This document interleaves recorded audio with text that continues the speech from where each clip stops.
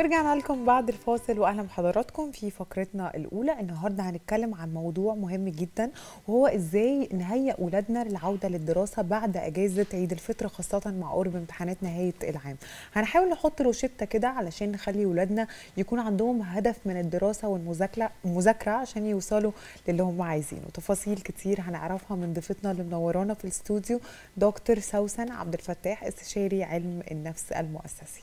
صباح الورد على حضرتك يا دكتور سوسن صباح الفل. أهلا وسهلا. أهلا, أهلا بحضرتك.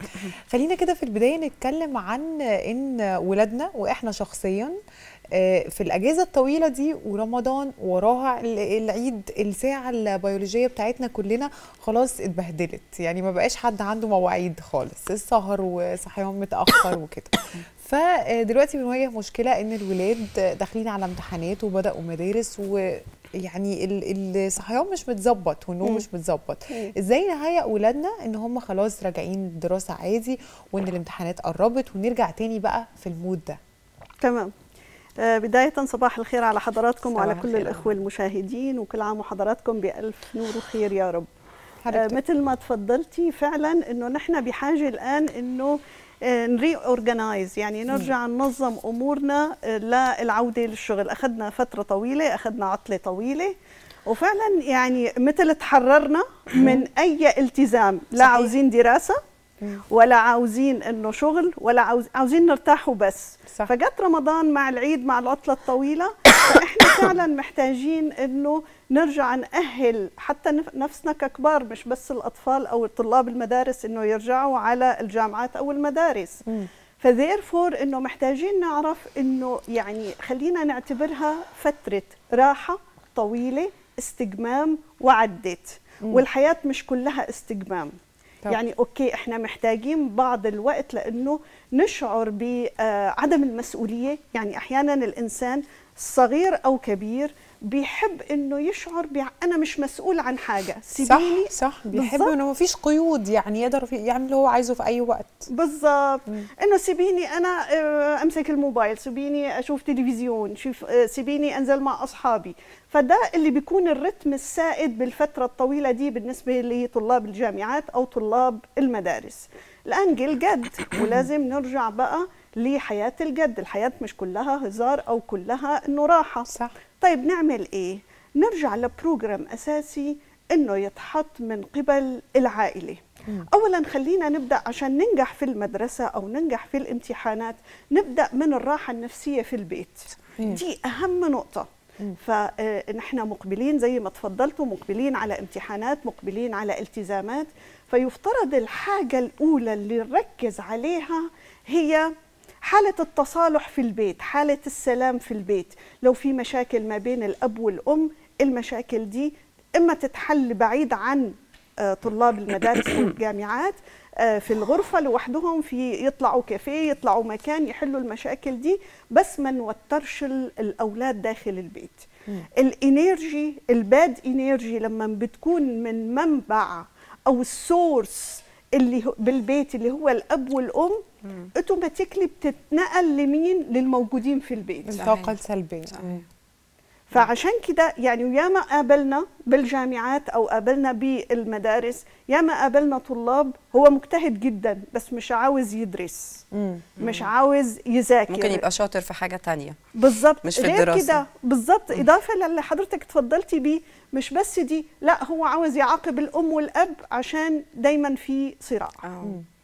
فاذا توفير السلام النفسي والسلام الداخلي داخل البيت البيت ده مملكة ده مكان للسكن والسكينة الهدوء دي أول نقطة. النقطة الثانية اللي ياخدوا بالهم الأهل الآن إحنا بنتكلم على مستوى الأهل شوي تانية هنروح على مستوى الطلبة. الحاجة الثانية اللي ياخدوا بالهم منها الأهل ألا وهي الأكل.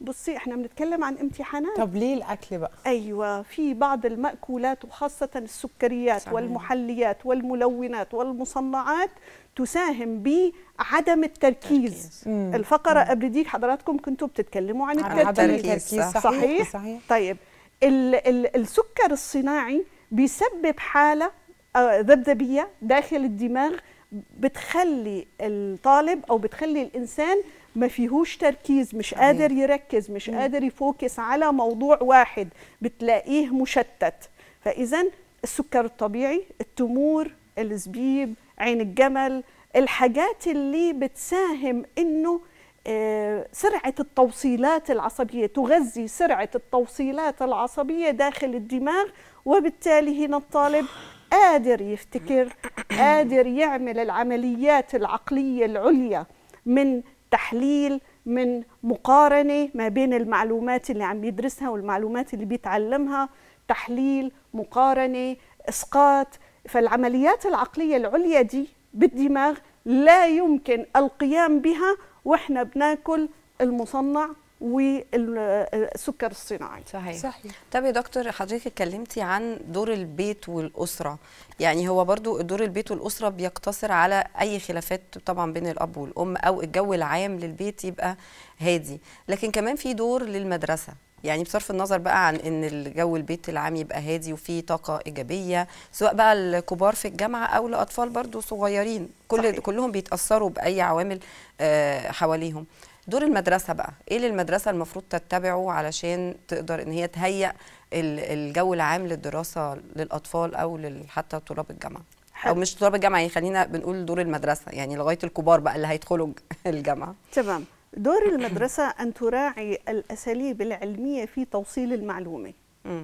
يعني يفترض المدرسين يتم تدريبهم على صحيح. First of all إنه نحن اولا لازم نعرف العقل إزاي بي deal مع إيه؟ مع المعلومة. كيف طبعا. بيتعامل كيف بيستقبل كيف بي receive كيف بي save كيف بيرحلها لملفات الذاكرة البعيدة كيف ربط عملية التعليم بالفايف سنسز يعني مم. أفضل وسائل التعليم وأنواع التعليم هي التعليم القائم على ربط الحواس, الحواس الخمسة. بالضبط. الحواس الخمسة بما أقوله.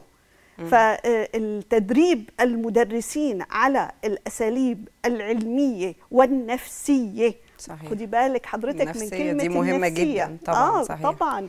الأساليب النفسية بحيث إنه الطالب ده لو متوتر لو طالع هرمون الأدرينالين عنده مستحيل يستقبل معلومة. صحيح. طب إحنا دلوقتي عايزين نعرف من حضرتك حاجة. الأهالي ما بيكونوش محددين ابدا عدد ساعات المذاكرة في اليوم. يعني تلاقي كده الأم آه، هي قررت دلوقتي إن ابنها لازم هيذاكر دلوقتي فخلاص هو هيطلع هيدخل يذاكر در... يذاكر دلوقتي ومش محددين مثلا إيه عدد ساعات معين مش محددين مود معين للطالب إن هو يذاكر فيه. طب هل هو متضايق دلوقتي؟ هل هو شعوره إيه دلوقتي؟ فأفضل آه، عدد ساعات أو الوقت المناسب كده عدد ساعات مذاكرة كده في اليوم وأفضل كمان آه، حال يعني لازم لازم يكون بالظبط يعني مثلا إيه حاله إيه دلوقتي علشان أخليه يذاكر؟ حلو. آه الشق الأول من سؤال حضرتك ألا وهو إنه إيه الحالة الداخلية يلي الإنسان أو الطالب يلي مستعد لإنه يذاكر. دلوقتي هو متعصب دلوقتي هو زعلان دلوقتي هو فرحان جدا. ما ينفعش ما ينفعش لإنه عملية الحفظ والدراسة والفهم لا تتم إلا في وجود آه يعني حالة في الدماغ اسمها alpha. alpha دي هي الحالة المثلى اللي بيكون الإنسان م focus. الآن حضرتك full focus أنت مركزة تماما بما يقال. الحالة دي أنت قادرة تحفظي. فاذا حالة ألفا هي الحالة اللي الدماغ بيكون فيها مسترخي. يعني بحالة بيتا للدماغ بيكون فرحان قوي زعلان قوي مكتئب ملوش mood out of mood في extreme يعني. في extreme ب feelings معينة أو مشاعر معينة. دي حالة بيتا. دي مخلوقة في الدماغ الحالة دي وللأسف معظم الطلاب عايشين بحالة beta. beta بالظبط. أنا كنت عايزة أقول لحضرتك هو الأطفال على طول أو الطلاب عايشين في بيتا على طول. نرجع للنقطة الأولى السكريات. هي اللي عم تخليهم بحالة بيتا. آه طبعا. Okay. ده صحيح أنا أتفق جدا مع حضرتك بالظبط. يعني ده ملحوظ بالنسبة لي أنا بشوفه بعينيا بالظبط. آه. آه فاذا إنه إن ندخل الطالب بحالة بيتا اللي هي تظبيط الهدوء زي ما قلنا ابدأ اهدى ابدأ ركز يلا أنت هتدخل في mood الدراسة. تهيئة الدخول في mood الدراسة ما قبل على القليله ربع ساعة. ليه؟ لأنه الدماغ بدأ ي focus لنا ال focus أو التركيز. بدأ الدماغ يركز على إنه أنا هدخل الآن ب mood إني أفهم أحفظ عشان عندي امتحان. مم. أما تاخديه من الجيم أو النادي أو الدار للنار. على مش هيقدر مش صحيح. هيقدر. بعدين في نقطة تانية بالشق الآخر من سؤال حضرتك ألا وهي تنظيم موعد الصحيان. صحيح. عادة بيقولوا لك موعد النوم. مم. ماشي. أيا كان موعد النوم يفترض أن يتم تنظيم موعد النوم. وعلى الأقل يعني خلينا نقول من ست ساعات لماكسيمم ماكسيمم سبع ساعات أو ثمان ساعات نوم. يعني كفاية قوي سبع ساعات. مم. طيب ما قبل الدخول بالنوم آه مهم جدا لأنه آه لأنه عملية الحفظ. بمعنى اللي إحنا بندخله على دماغنا ما قبل عملية النوم بنص ساعة هو اللي ال sub أو اللاوعي بيشتغل عليه كل الليل. بال saving بال analysis بالتركيز وبيخليه بياخده للذاكرة بيتخزن. بعيدة المدى عشان يتخزن ويطلع وقت ما أنا أستدعيه من الدماغ. زي ما قلت لحضرتك آلية عمل الدماغ ABC إنه نجاح الطلاب إنه يكونوا فاهمينها. الأهالي والمدرسين. صحيح طبعا. لأنه هي حضرتك الشبكة أو السنارة اللي بترجعي بتصطادي بيها المعلومة يلي اتقالت. بس هنروح لحتة إنه عدد الساعات maximum قد إيه؟ كانوا؟ حد الأقصى. لا للمذاكرة. للمذاكرة. آه في تكنيك اسمه Pomodoro Pomodoro technique قالوا إنه أفضل طريقة الدماغ يتعامل بها بحفظ للحفظ لحفظ المعلومات هي طريقة Pomodoro as I told you technique اللي هي عبارة عن إيه؟ عبارة عن إنه الطالب أول حاجة أنا قعدت فرغت أمامي كل المشتتات والملهيات من موبايل موبايل أرجوكم الموبايل طبعا هو طبعا. طبعا. موبايل و iPads بالظبط بيقول لك أنا هدرس على الموبايل ما فيش حد بيدرس من قطعة بس قد معظم كده. المدارس فعلا يا يا دكتور دلوقتي بقت كل ال homeworks وكل الدراسة كلها على ال iPad. يعني ما فيش حاجة بتتمسك. وحتى الكتابة بالقلم بتاع ال iPad. ففي مدارس دلوقتي يعني صحيح. بس فعلا مش الموبايل. لا مش الموبايل. الموبايل طول الوقت notifications ورسائل لا مش الموبايل. يعني أنا ابني هو الحياة كلها على ال iPad مثلا. دي نوع من أنواع المدارس. آه ال homeworks على الموبايل حتى الدروس اللي المفروض يحفظها أو يعملها على على ال iPad. دي صح. برضو حاجات من الحاجات المقلقة بصراحة اللي هو التعرض لل screens. ما ده من ضمن الحاجات اللي حضرتك بتقوليها إنه التعرض أصلا لل screen حتى لو هو بيعمل حاجة مفيدة أو حاجة ليها علاقة بالمدرسة أو homework ده برضو ممكن يخليه آه مخه التفكير والتركيز مش مظبوط. صحيح صحيح صح ولا يعني بس نفصل عنه النت. آه ما يبقاش فيه انترنت بالظبط. إلا لو في search research عاوز ي apply أو عاوز يطلع معلومة ماشي. لكن يخلي المعلومات اللي عاوز ي search عليها على جنب تمام؟ بس يشتغل على التابلت الموبايل ممنوع أصلا بيروح النظر. صحيح. طبعا آه. ثانيا حضرتك بالتلامس المباشر ما بينك وبين الموبايل نرجع للتشتت الذهني. الموبايل صح. بيطلع طاقة كهرومغناطيسية تسبب التشتت الذهني.